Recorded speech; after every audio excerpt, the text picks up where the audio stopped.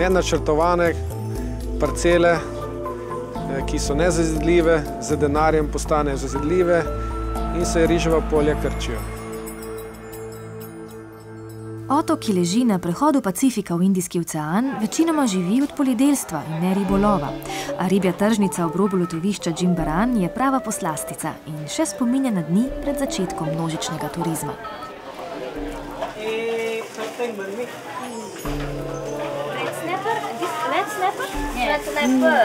Ja, rdeči sneper, neke vrste tropski zobatec bi lahko rekli. Um, zelo običajna riba tukaj na Balju. Makaj si. Okay.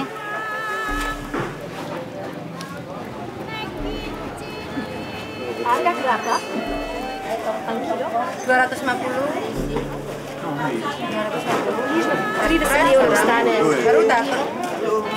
Približno 30 evrov stane kila jasnega.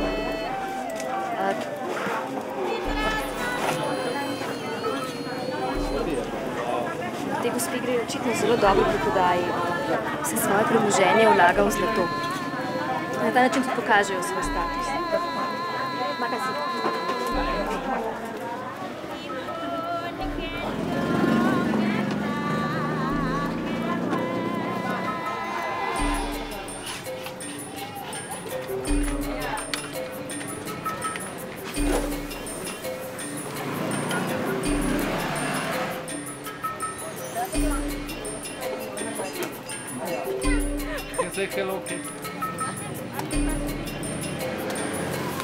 Maka si.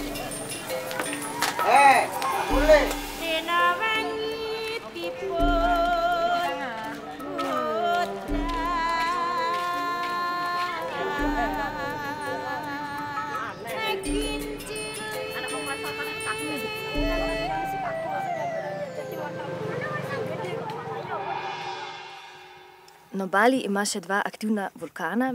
Um, zdaj je ura 10 čez 5 in spenjamo se na Batur, še aktiven vulkan. Upam, da bomo ujeli uh, sončni vzhod. Sicer pa je to ena od svetih gora. Um, it's, a, it's a holy place we're entering now, right, Jon? Yes. That's why we are wearing these bells. Yes. And now you will do a little prayer.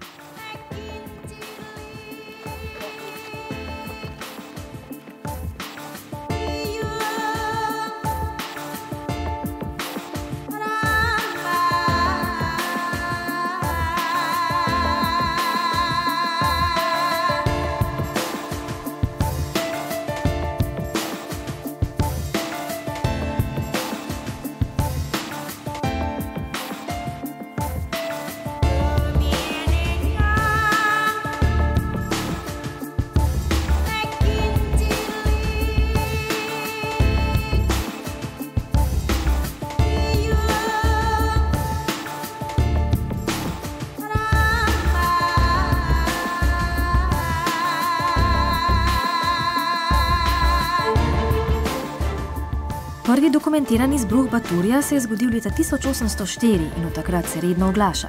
Na zadnje leta 2000 in še prej 1994, ko je bruhal oblake pepela na vas Kedisan ob množju. And this is Gunung Agung, Gunung Agung, the one behind. the holiest Yeah. place Yes. on Bali.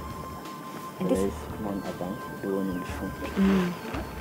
So volcanoes are actually very, very, very respected by the Balinese. Exactly. So that's why you have now those ceremonies every year. Oh It's yes. quite common. This is for the uh, mountain because uh, this mountain it, it is like a sacred sacred mountain, and all the all the people from Batur we doing uh, ceremony here like uh, uh, sacrifice like sacrifice animal like buffalo, sheep, chicken, ducks, and also dogs. So all of the Batur village came up here to make celebrate. So that's every year. and that's to make the volcano not angry again to the village mm. around the caldera. Mm. The gods have been very good today to exactly, us. because they give us very good view.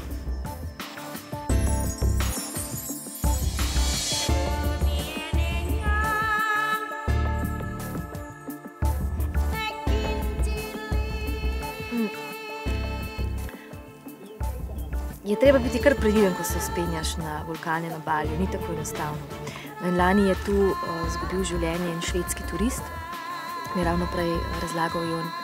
In domačini so potem še uh, mesece in mesece imeli razne ceremonije uh, in žrtvovanja, prav tu na, na kraterju, na robu, uh, da so pomirili duhove in bogove tukaj zgoraj.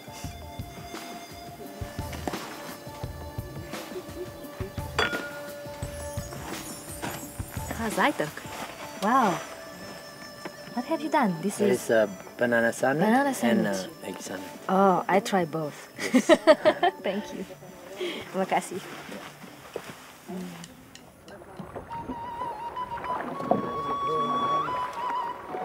V enem od nekdanjih kraterjev vulkana leži največje balinezijsko jezero Dana v Batur, bogato z ribami. Od tod se odpravim naprej do najstarejšega ljudstva na otoku. Na Bali Aga so starodavni, tisti prvotni prebivalci otoka. In ko so v 15. stoletju hindujci tukaj našli svoje zavetišče, so se Bali Aga vse bolj pomikali v hribe. In uh, tu jih najdemo še danes, v tem srednjem delu uh, Balija, kjer živijo samo še, mislim, da v treh vaseh in so danes predvsem zanimiva etnična manjšina.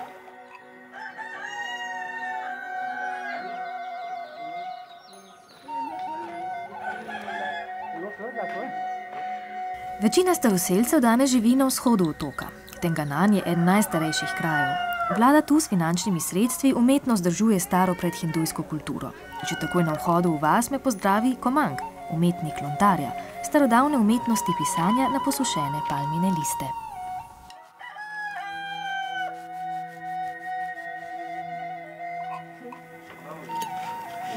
Moja and this moja in Balinese. Balinese. And you always read from this side Yeah.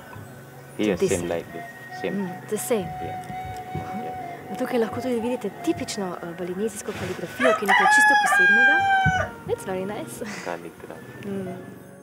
Po hribu navzgor se vlečejo tradicionalne hiše, nanizane v dve popolnoma enaki vrsti. Ljudje in živali tu živijo pod isto streho. Napisi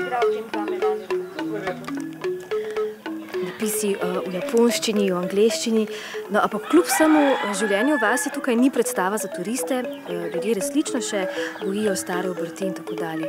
In ko si nekaj časa tukaj, pozabiš, da si na Baliju. Ne? To je popolnoma drugače, tudi drugačna arhitektura. Vse mi je všeč.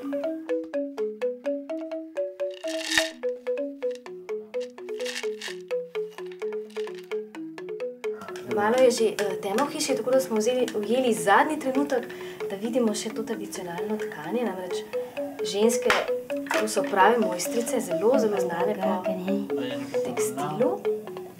In, uh, Bajete to ščiti pred črno magijo, to je prav posebno blago.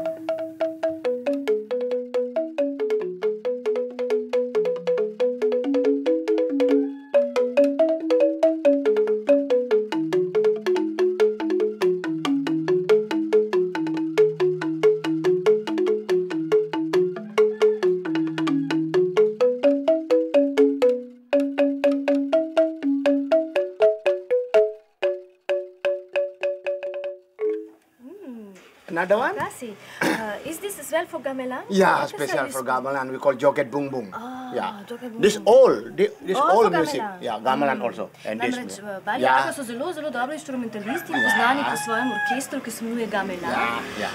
Play something else, so you know how to yeah, play moment. Yeah, yeah, yeah. Oh, yeah. Uh, one and two and three, four. No,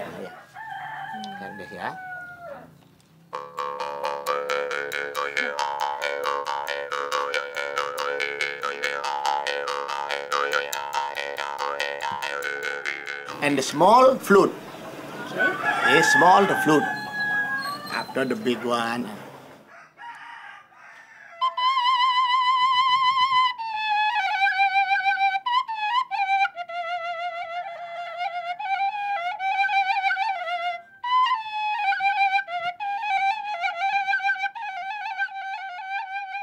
Terima kasih dulu, Mas. I can give you my bunga. Terima kasih. Ya, eh, mm, me like most. A večina zaselkov, kjer danes še živijo Bali Aga, je teže dostopnih. Turistom odsvetujejo, da se tja odpravijo sami. Ena takih vasi je Trunjan na obali jezera. Ljudje tu niso vajeni obiskovalcev kot v Tengananu. V nekaterih hišah bo še naletel na poligamijo in slišal najstarejši jezik otoka, ki danes velja za dialekt balinezijskega. Po mojem smo prišli ravno na pogreb, pa mislim, da ne bo nihče zameril, če gremo malo pogledati.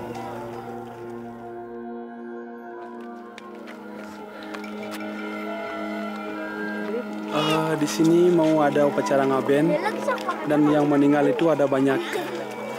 Sekarang ini badainya.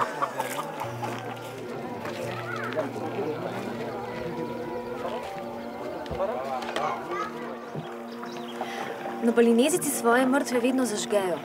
Tu v vasi Trunjan pa se je ohranil povsem samo svoj način pokopa.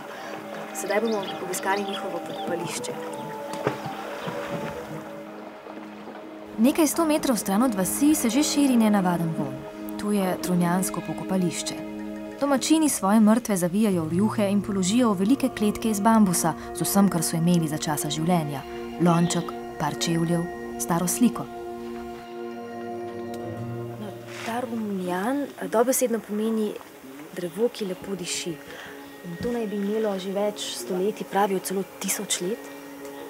Um, in pod njem so zložene kosti vaščanov, ki so umrli.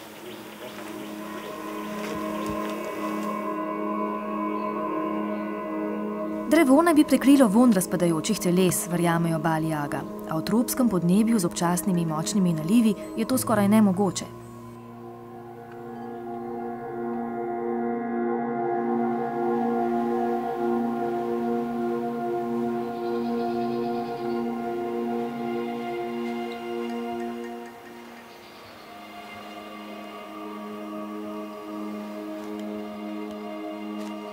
Trunjansko pokopališče je sicer nenavaden, svet kraj, a nikakor primeren za občutljive želodce.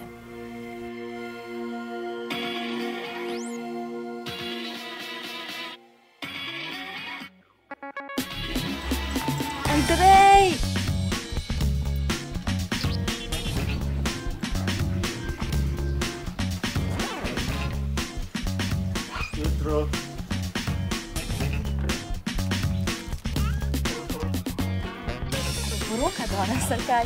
Si kuš.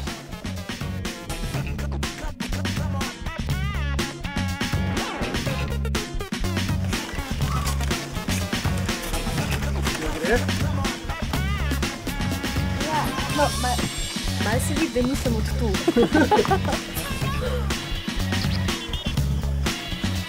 Ti sem dala tako, je v redu? Ti mi je dala še tega košarca? Hvala, mojca. Bomo dala kar prehod. Danes je fešta v naši hiši. V bistvu ni, ni fešta, to ni prava beseda. Ne? Kaj bomo odganjali, bomo demone. Tako, duhove. Po štirih letih, odkar hiša stoji, še nekako ni bilo časa, da bi očistili hišo. Tako da bomo to danes naredili. Nekaj zelo tradicionalnega. Tako.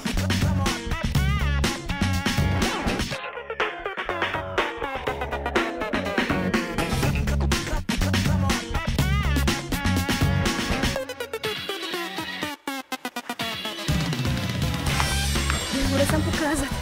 Punce so me spet preoblekle. Nikakor niso zadovoljne danes z mano, zdaj imam pa balinezijsko čipko. Čudovita, skoraj kot je idrijska.